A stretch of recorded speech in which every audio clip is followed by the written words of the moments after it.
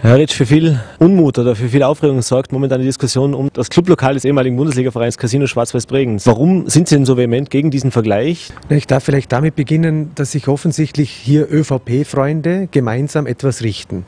Angefangen von der Sparkasse, vom Direktor, der über vier Jahre lang den Kredit nicht fällig stellt. Das ist mal das Erste. Weil nicht die Stadt hat einen Kredit, sondern diese vier Bürgen haben bei der Sparkasse gebürgt, dass sie das Geld aufbringen. Und die Sparkasse hätte vor vier Jahren schon klagen sollen, hat das nicht gemacht.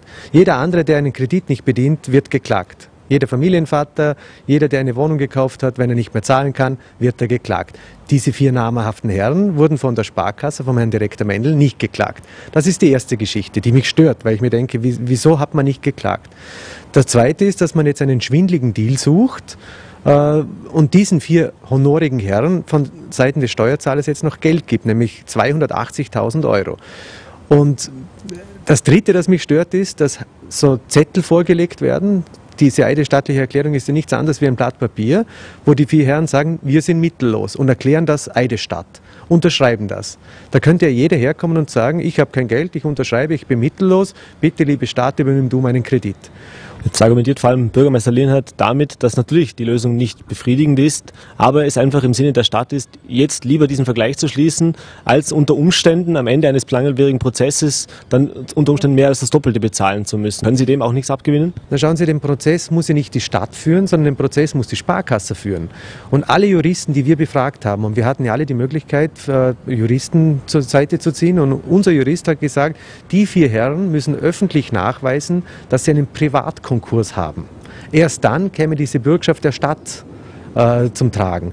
Und jetzt traue ich mich mal zu behaupten, dass ein Herr Aldo Ammann, ein Herr Dr. Ottmar Simmer keinen Privatkonkurs öffentlich anmelden werden und schon gar nicht, wenn man weiß, dass sie Beteiligungen haben, dass sie bei Firmen beteiligt sind, äh, dass sie alle in tollen Autos herumfahren, dass sie Häuser und Wohnungen haben. Na, was soll denn das Ganze?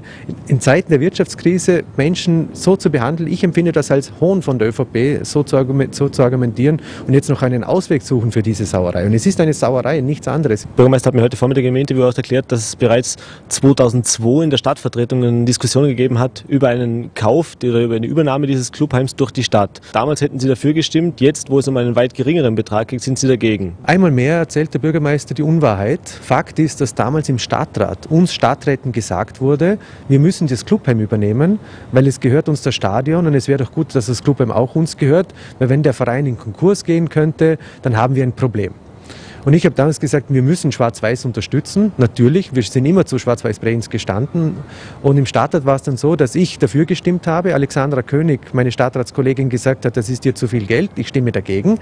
Aber dieser Beschluss niemals in die Stadtvertretung gekommen ist, sondern nur im Stadtrat beschlossen wurde und dann zwischen Stadtrat und Stadtvertretung bekannt wurde, dass weder der Verein das will, und dass hier vier Bürgen sind. Diese Information hat es im Stadtrat nicht gegeben. Hätte ich im Stadtrat die Information gehabt, dass vier Bürgen für diesen Kredit haften, ja, wieso soll die Stadt dann das zurücknehmen?